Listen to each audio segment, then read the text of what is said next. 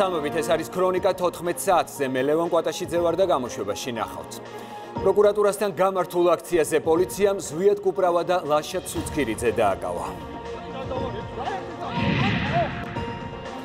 ყლელობა სურამში ქმარი ცოლს ნაჯახით გაუსწორდა. გენერალურ პროკურატურასთან გამართულ აქციაზე სამართალდამცველებმა ზვიად კუპრავა და ლაშა ცუცქირიძე დააკავეს. ინციდენტი მაშინ მოხდა, როდესაც პროტესტის მონაწილეებმა საგამოძიებო უწყების ეზოში ბოტასები გადაყარეს.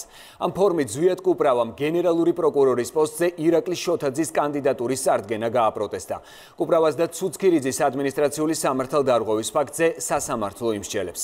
სანდრო გამსახურდია საუბრობს პირდაპირ ეთერში, სანდრო ხომ არ დაინიშნა პროცესი?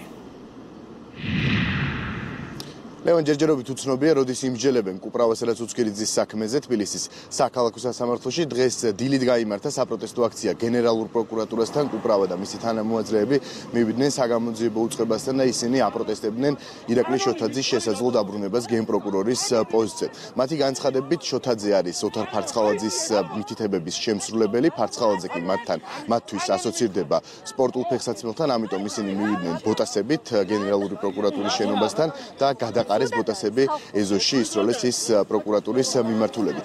სამართალდამცველები იყვნენ ადგილზე მობილიზებულები, საპატრულო პოლიციის თანამშრომლებმა დააკავეს როგორც კუპრავა, ასევე ცუცქირიძე, პოლიციელის კანონიერი მოთხოვნისადმი დაუმორჩილებლობისა და წვრილმანი ხულიგნობის ბრალდებით. რამდენიმე წუთის წინ მოვიდნენ სასამართლოში დაკავებულების ინტერესების დამცველების ზვიად კუპრავას ადვოკატის განცხადებით მის დაცვის ქვეშ ყოფს კანონი. არ დაურღვევია, რადგან პოლიციელების მხრიდან კანონიერ მოთხოვნას ადგილი არ ქონია. ძველ კუპრავს ედავებიან 166 მუხლით გათვალისწინებულ წვრილ ხურიგლობას და ასევე 173 მუხლით გათვალისწინებულ პოლიციის კანონიერი მოთხოვნის მიმართ დაუმორჩილებლობას არც ერთი ამუხლის ქმედება ძველ კუპრავს არ ჩაუდენია რადგან მან განახორციელა მხოლოდ და მხოლოდ ასე ვთქვათ ბოტასების გადაყრა პროკურატურის ეზოში რაც არ წარმოადგენს წვრილ ხურიგლობას და ატყვა პოლიციელებმა სწორად ვერ შეადგინეს ოქმი და შესაბამისად მიმოდობლებს რომ სასამართლო სწორ და ობიექტურ გაწყვეტილებას მიიღებს და ამ ორივე მუხში გაამართლებს ძველ კუპრავს და მეორე დაკავებულსაც ლაშას წვრილს რა იმის ადგილი სამართალდამცველების სამართალდამცველების სამართალ დამცველებისგან პოლიციელების მხრიდან კანონიერი მოთხოვნა არანაირი არ იყო დაყენებული. ზიად კუპრავა ვიდეო კადრებში ჩასო უმარტავს რომ რა მუხლიც იქა დაკავებული და რატო აკავებენ რა დაარღვია და არ უმარტავენ ამას პოლიციელები არც ერთი კუპრავა და ზუცკირიძე ადმინისტრაციული წესით არიან დაკავებულები სავარაუდოდ 2 საათში უნდა ჩაინიშნოს მათი საქმის განხილვა თბილისის საქალაქო სასამართლოში. ეს სანდრო გამსახურდია იყო საპროკურორო საბჭოს გენერალური პროკურორობის 17 კანდიდატი წარედგინა, მათ ცალ-ცალკე ეყრებათ კენჭი. არჩეულად ის კანდიდატი ჩაითვლება, რომელიც მეთხმას მიიღებს, მაგრამ არანაკლებ საპროკურორო საბჭოს სრული შემადგენლობის 2/3-ისა. საბოლოოდ კი ერთი საუკეთესო დასახელდება შერჩეული კანდიდატი პარლამენტს წარედგინება, რომელიც ასევე სრული შემადგენლობის უმრავლესობით ირჩევს გენერალურ პროკურორს. კანდიდატებს შორისაა ყოფილი პროკურორი ირაკლი შოთაძე, რომელიც საბჭოს ტექნიკური უნივერსიტეტის აკადემიურმა წრემ წარუდგინა. now.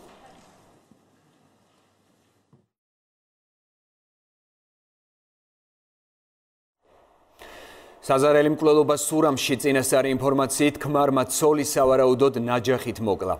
ქალ სიცოცხლესთან შეუთავსებელი ჭრილობები აღენიშნებოდა, რის გამოც მისი გადარჩენა ვერ მოხერხდა. დამნაშავე უკვე იდენტიფიცირებულია, მის დასაკავებლად სამძებრო ღონისძიებები მიმდინარეობს. შინაგან საქმეთა სამინისტრომ გამოძიება განზრახ მკვლელობის მუხლით დაიწყო, რაც 14-დან 17 წლამდე პატიმრობას ითვალისწინებს. რა გახდა მკვლელობის მოტივი ჯერჯერობით უცნობია.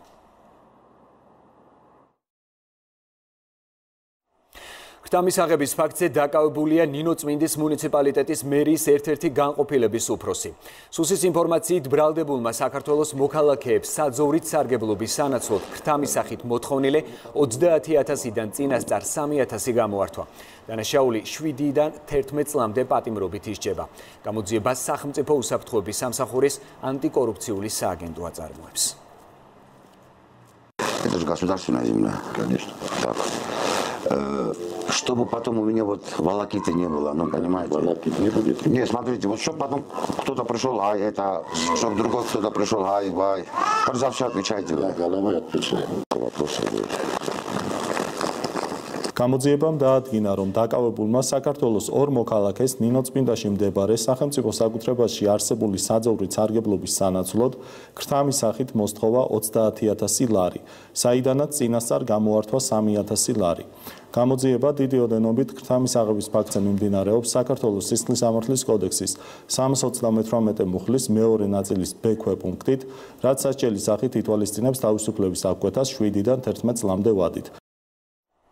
შინაგან საქმეთა სამინისტრო მუქარის ბრალდებით ერთი ადამიანი დააკავა. გამოძიების ინფორმაციით ბრალდებული დროებითი საცხოვრებლის შესაძლო ქირავნობის მიზნით ტელეფონით დაუკავშირდა თბილისში. ერთ-ერთ ქუჩაზე მდებარე ბინის მფლობელს რა დროსაც მათ სიტყვიერი შეურაცხყოფა მიაყენა.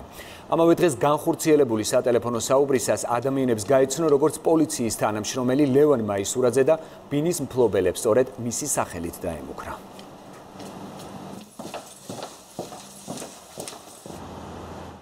თბილისში მომხდარი ყაჩაღობის ფაქტზე დაკავებულია უცხო ქვეყნის მოქალაქე. შინაგან საქმეთა სამინისტროს ინფორმაციით, ბრალდებულმა თანამზრახველთან ერთად ახვლედიანის ქუჩაზე მდებარე სავალუტო ჯიხურის დაყაჩაღების მიზნით თანამშრომელს ფიზიკური შეურაცხყოფა მიაყენა. ხელჩანთა გასტაცა და შემთხვევის ადგილიდან მიიმალა.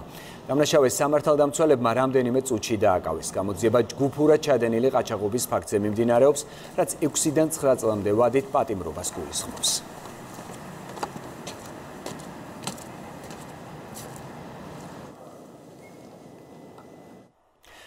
და სხვა თემები მთავრობის ხელმძღვანელი საქართველოსი ამერიკის ახალ ელჩს ფიცის დადებას უოლოცავს. პრემიერ-მინისტრი აღნიშნავს, რომ კელი დეგნანის საქართველოსი ჩამოსვლა დამატებით დინამიკას შესძენს ორი ქვეყნის სტრატეგიულ პარტნიორობას. მოუთმენლად ველოდები თქვენთან მუშაობა საქართველოს ევროპული და ევროატლანტიკური მისწრაფებების წინსვლისა და საქართველოს-ამერიკის სტრატეგიული პარტნიორობისთვის კიდევ უფრო მეტი დინამიურობის შესაძენად. წერს გიორგი გახარია Twitter-ში ოფიციალურ გვერდზე. მარნეულში დევნილი ოჯახებისთვის სოფლის ტიპის დასახლება შენდება. 31 სახლი იმ ოჯახებს გადაეცემათ, რომლებიც წლები არ რთულ პირობებში ცხოვრობენ. სამშენებლო სამუშაოები გერმანიის მთავრობის მიერ დაფინანსებული პროექტის ფარგლებში მიმდინარეობს. საგრანტო პროგრამა დევნილთა განსახლებასთან ერთად მათ ეკონომიკურ, სოციალურ და საგანმანათლებლო ინტეგრაციასაც ითვალისწინებს. გარდა ამისა, მარნეულისა და მთელი საქართველოს მასშტაბით დევნილი ოჯახების საკუთრებაში არსებული მიწის ნაკვეთებზე 200-ზე მეტი სახლი აშენდება. ოჯახებს შემოსავლის წყაროს გაჩენის მიზნით გრანტებიც გადაეცემათ. ეხლა რაც ხდება, ეს არის ალბათ ნით აუხწერელი სიხარულია, რომ მთელი 28 წელიწადი ადამიანებმა იცხოვრეს ძალიან გაუსაძლის პირობებში. მარნეულში დევნილი ოჯახებისთვის შენდება ახალი სოფლის ტიპის დასახლება. აღნიშნული საცხოვრებელი სახლები განაწილდება მარნეულში ნგრევად ობიექტებში მცხოვრე ბიძულებით გადაადგილებულ პირებზე. პროექტი დაფინანსდა გერმანიის მთავრობის მიერ, რომელიც მიზნად ისახავს საქართველოს მასშტაბით 200-ზე მეტი მსგავსი ტიპის სახლების მშენებლობას. ეს პროექტი განხორციელდა საქართველოს ოკუპირებული ტერიტორიებიდან დევნილთა, შრომის ჯანმრთელობისა და სოციალური დაცვის სამინისტროსთან ჭიდრო თანამშრომლობით, რომლის მიზანიც არამხოლოდ მარნეულში, არამედ სხვა რეგიონებშიც სამუშაოების ჩატარებაა. პროექტი თითქმის 3 წელია მიმდინარეობს და ეს არის ჩვენი მუშაობის პირველი თვალ თვალსაჩინო შედეგი. ჩვენ გავაგრძელებთ 2020 და 2021 წლებში მუშაობას და ეს იქნება ერთგვარი გერმანული სოფლის მოდელი მარნეულში. ბათუმში თანამედროვე სტანდარტების ბიზნეს ცენტრი გაიხსნა. ღონისძიებას აჭარის მთავრობის თავმჯდომარე და წევრები დაესწრნენ. ბიზნეს ცენტრი ლოფტის სტილშია შესრულებული, განთავსებულია საერთო და ინდივიდუალური სამუშაო ადგილები, სათათბირო და საკონფერენციო სივრცეები. როგორც ცნობილი აჭარაში საინვესტიციო საპრივატიზაციო პროცესის ეფექტურად განხორციელების მიზნით ინვესტიციების ხელშეწყობის ახალი წესი ამოქმედდა. შედეგად ბოლო ერთ წელში აჭარაში 1 მილიარდი ლარის საინვესტიციო პროექტები განახლდა. როცა ჩვენ საუბრობთ ინვესტიციებზე, ბიზნესის ხელშეწყობაზე და ზოგადად ეკონომიკის განვითარებაზე, უნდა იქნებოდეს თანამედროვე სივრცეები, სადაც ყველა შეუძლია თავის საქმიანობა განახორციელოს შეუფერხებლად და რა თქმა უნდა მე წარმატებებს ვუსურვებ და დარწმუნებული ვარ, რომ ყველა ის შემდეგი ეტაპები, რომელიც გულისხმობს ამ ობიექტის სრული დატვირთვით ამუშავებას, იქნება დასრულებული. ქართული ჩაის სექტორში არსებულ გამოწვევებსა და მათი მოგვარების გზებზე სამეგრელო ზემოსვანეთის სახელმწიფო რწმუნებულმა და ჩაის მწარმოებლებმა ზუგდიდში გამართულ შეხვედრაზე იმსჯელეს. პრობლემებს ქართული ჩაის მწარმოებელთა ასოციაცია შეისწავლის, რის შემდეგაც სახელმწიფო რწმუნებულთან ერთად გარემოს დაცვისა და სოფლის მეურნეობის სამინისტროში შეხვედრა გამართება, სადაც გამოკვეთილი საკითხების განხილვა, არსებული პრობლემების შესწავლა და შემდგომი რეაგირება მოხდება. შეხვედრაზე ადგილობრივი ჩაის წარმოების ხელშეწყობის და საექსპორტო პოტენციალის ზრდის საკითხებიც განიხილეს. ორ კვირაში დაახლოებით ასოციაცია წარმოადგენს თავიანთ ხედვას დარგის განვითარების და ამავე დროს იმ დახმარებების საჭიროებას, რაც საჭირო არის სახელმწიფოს მხრიდან. შემდგომ ამისა დარგის წარმომადგენლებთან ერთად ჩვენ გვექნება შეხვედრა სოფლის მეურნეობის სამინისტროში და განვიხილავთ სოფლის მეურნეობის სამინისტროსთან ერთად უშუალოდ არსებულ პრობლემებს ადგილებზე. სამეგრელოში შეიძლება 2000 გექტარამდე ჩაის გამოყვანა. ეს მიახლოებით არის 8000 დასაქმებული ადამიანი და ვფიქრობ, რომ ეს იქნება ერთ-ერთი წინსვლა. ჩვენ მზად ვართ გადაღამებ ვიმუშაოთ და ეს სფერო წამოვწიოთ ჩიჩილაკისა და კალანდას არამატერიალური კულტურული მემკვიდრეობის ნუსხაში შეტანასთან დაკავშირებით მუშაობა დაწყებულია. ამ შესახებ სალომე ზურაბიშვილის და ნიკოლოზ ანთიძის შეხვედრის შემდეგ გახდა ცნობილი. კულტურული მემკვიდრეობის დაცვის ეროვნული სააგენტოს ხელმძღვანელმა პრეზიდენტს კულტურული მემკვიდრეობის კუთხით საქართველოსი და საერთაშორისო დონეზე დაგეგმილი პროექტები გააცნო. როგორ მზადდება ეს? აი ჩიჩილაკს დავიღებ ხილიჯო. შევხვდით საქართველოს პრეზიდენტს, დეტალებში გავიარეთ საკითხი თუ როგორ უნდა მომზადდეს და ჩვენ უკვე დავიწყეთ ამ საჯარო განცხადების შემდგომ ამაზე ზრუნვა და ძალიან კარგი ინიციატივაა. ჩვენი იდენტობის კიდევ ერთხელ წარმოსაჩენა. წლევანდელ წელზე დაგეგმილი სამუშაოების პროცესი გავაცანით თუ რა იგეგმება როგორც ეროვნულ დონეზე ასევე საერთაშორისო დონეზე. და პრეზიდენტმა გამოთქვა სურვილი რომ მუდმივად იყოს ჩართული პროცესებში და აგვიქვა დახმარება იმაზე რომ ნებისმიერ ესეთ გადაწყვეტილებებზე რაც ძალიან მნიშვნელოვანია ქვეყნისთვის მუდმივად იქნება ასე ვთქვათ სახელმწიფოს და სააგენტოს განსაკუთრებით ხარდაჭერი განვაგზობთ გამოშვებას უცხოეთის სამბებით. ირანი მზადაა ჩამოგდებული ავიალაინერის შავი ყუთები უკრაინას გადასცეს. ამის შესახებ განცხადება უკრაინის საგარეო საქმეთა მინისტრმა სახელმწიფო რადაში გააკეთა. ვადიმ პრისტაიკოს თქმით, მანამდე ჩანაწერებს ირანის, უკრაინის და კანადის მხარის წარმომადგენლებთან ერთად გაეცნობიან. დეპუტატების წინაშე სიტყვით გამოსვლისას უკრაინის მთავარმა დიპლომატმა ისიც აღნიშნა, რომ კვირას კიევს ირანის ხელისუფლების წარმომადგენელი ეწევა. але всі включаючи компенсації нашим з вами громадянам. ვოლოდიმირ ზელენსკიმ ქვეყნის პრემიერ-მინისტრის თანამდებობიდან გადადგომის შესახებ ალექსეი გონჩარუკის განცხადება არ დააკმაყოფილა. პრეზიდენტი უარის მოტივად ქვეყანაში შექმნილ ვითარებას ასახელებს და აცხადებს, რომ საკადრო ცვლილებების დრო არ არის. ზელენსკიმ გონჩარუკს პირისპირ შეხვედრისას განუცხადა, რომ პრემიერს და მის ახალგაზრდა მთავრობას კიდევ ერთ ჩანს აძლევს იმ პრობლემების მოსაგვარებლად, რომლებიც მისი თქმით დღეს უკრაინულ საზოგადოებას აწუხებს. უკრაინის პრემიერ-მინისტრმა ქვეყნის პრეზიდენტს ვლადიმერ ზელენსკის გადადგომის შესახებ წერილით გუშინ მიმართა.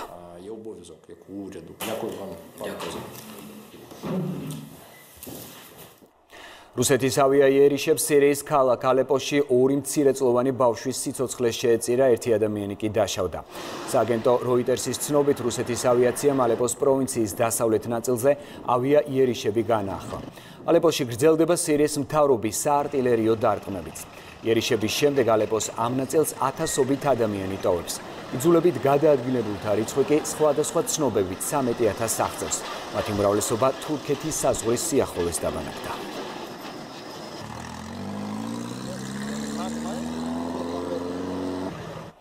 ევროკავშირმა შესაძლოა ლიბიაში მშვიდობის მყოფელები გაგზავნოს. ამის შესახებ განცხადება საგარეო ურთიერთობათა და უსაფრთხოების საკითხებში ევროკავშირის უმაღლესმა წარმომადგენელმა ჯოზეფ ბორელიმ გერმანულ გამოცემა შპიგელთან საუბრისას განაცხადა. ამასთან ცნობილი გახდა, რომ ლიბიაში შექმნილი კრიზისი საკითხზე ხვალ ბერლინში საერთაშორისო კონფერენცია გამართება.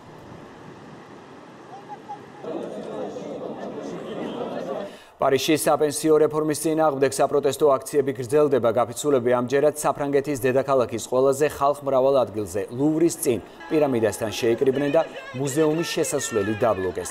ამ ფორმით აქციის მონაწილეებმა ტურისტებს მხარდაჭერისკენ მოუწოდეს.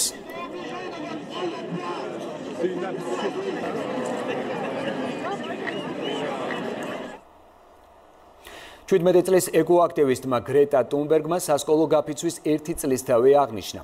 აქცია ლოზუნგით შევცვალოთ სისტემა და არაკლიმატი შვეიცარიის ქალაქ ლოზანაში გამართა. ყველაზე ახალგაზრდა ეკოაქტივისტმა სიტყვით გამოსვლისას განაცხადა, რომ მომავალ კვირას დავოში გაიმგზავრება, სადაც ეკონომიკური ფორუმი გამართება. გრეტა ტუნბერგმა იმედი გამოთქვა, რომ მსოფლიო ლიდერები მის მოწოდებებს გაიზიარებენ.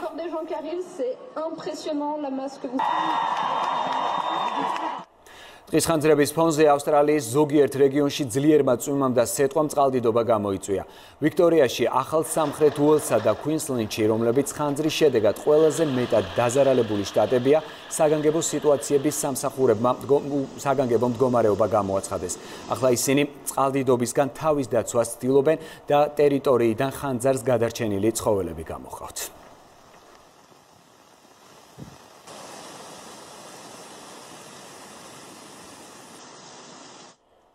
კანადის ქალაქ ნიუ-ფაუნდლენდს კი თოვლის უძლიერესმა შტორმმა გადაუარა. კუნძულზე საგანგებო მდგომარეობა გამოცხადა. ქალაქ სენ-ჯონში დახურულია სკოლები და ბაღები. არ მუშაობს სახელმწიფო დაწესებულებები და ბანკები. ქალაქში მხოლოდ სპეცტექნიკის გადაადგილებაა დაშვებული. უამინდობის გამო გაუქმდა ათობითავია რეისი. ნიუ-ფაუნდლენდის კუნძულზე სულ 480.000 ადამიანი ცხოვრობს.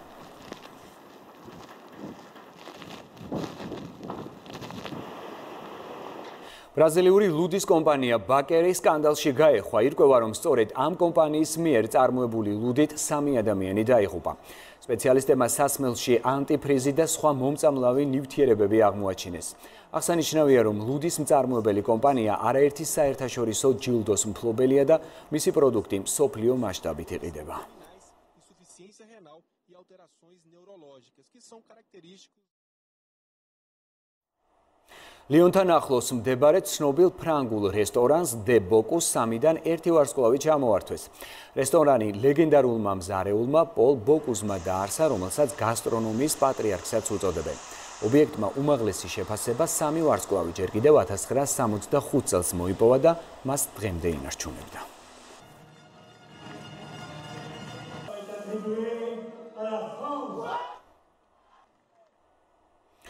და სპორტის ამბები ეროვნულ საკალათბურთო ასოციაციაში ინდიანა მინესოტა 116-114 დაამარცხა. პეისერსის ქართველმა ლეგიონერმა გოგა ბითაძემ 10 წუთში 5 ქულა და 1 მოხსნა დააგროვა. 20 წლის ქართველმა კალათბურთელმა 2-დან 2 ორქულიანი და 2-დან 1 საჯარი მოგამოიყენა. გამარჯვებული გუნდის შემადგენლობაში საუკეთესო 28 ქული TJ ორენი იყო. მომდენო შეხვედრას ინდიანა 20 იანვარს სტუმრად დენვერთან გამართავს.